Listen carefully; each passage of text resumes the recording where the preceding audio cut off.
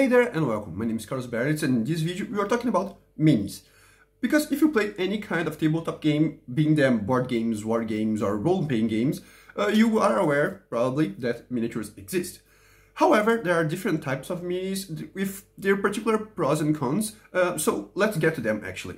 The most known one is the 3D mini, what is called by some as regular or proper mini.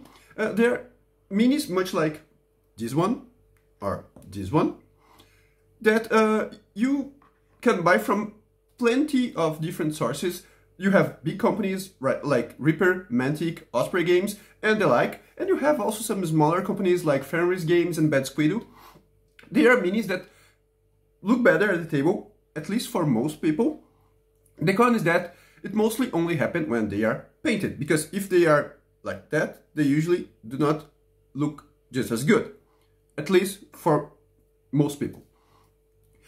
But if you want to have them painted, it can make the next con much worse because you have the option that of using them like that or you can paint them.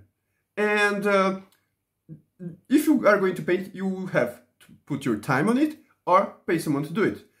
Because they are the most expensive kind of minis that I am presenting here. Because while a mini won't be less than one buck when buying in quantity, a singular and particular mini won't normally hit less than 3 bucks.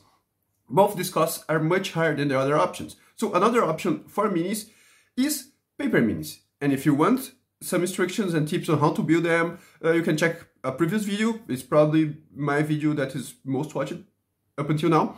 They're marvelously cost effective and they still look great at the table. It is true that they benefit from some designs that offer back views, at least in my opinion, like the ones from Trash Mobs, Printable Heroes, or Kevs from uh, Dungeon Paper. Although not that detailed as the 3D minis, they still look, look pretty red. And they have a lot of options, like talking they are effective as heck in having details in a flat transport. Talking about this, them being much easier to carry, you can do it like me and put them in plastic sheets, much like this one, the one that you use for cards, and then you can carry them flat. But this is something that works best if you do uh, the kind of bases that I have, and I have a video about it and how to make them. I counsel you to use them. I think that they re look really good. You can even mix some of them with 3D minis in your table. And that's another thing that you can just print them, so no issue with shipping or anything like availability and much and most artists are available to commission if you want something similar, if you want a, a particular mini. Building from it, you have one mini that can that carries a bit of the advantages from both of them. That is the flat, the fat plastic one. So you have them flat minis, but they are printed in plastic. So you have the details from the paper and you offer some better durability. Uh, the, these ones are from Geek Tank Games. I believe there are other that, op that offer something similar, but while they they work great, the thing is that they will have less availability than the other ones. The con is that this kind of mini, it's the temp it's dependent of the available ones that the company decided to put together.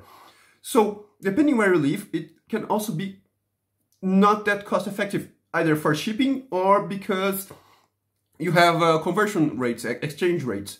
So, however, they are still much cheaper than the 3D model ones. So to summarize, you have the 3D ones that arguably look better and can offer better detail. However, between the 3D ones, there are some discussion about plastic, resin, metal, etc. But this is for another point. You can use 3D printed ones, like really 3D printing, but this is another hobby in and on itself. And they are still more expensive and arguably you need to have some painted either by you or by someone else like uh, Michael Mordor for instance to benefit from the extra detail. Then you can have the paper ones that you can print wherever you are, are easy to carry and have a negligible cost against the 3D ones. Building them is not that hard following some instructions as the ones that I linked. Unless you have the plastic flat ones that add durability to the paper ones, but they are most more a little bit more expensive than the other and they have limited in terms of designs available and where you can get them. So now I have the information, you can do, uh, you can now make an informed guess and let me know what is what is your preference, what you prefer about them. If I forgot something about any one of them, if you disagree, if you want some, if, if you have some questions that you can that you want to post, so in the comments. This is the video. You know how internet works. Like, subscribe, share the video, and I will see you all in the next one. So, see ya!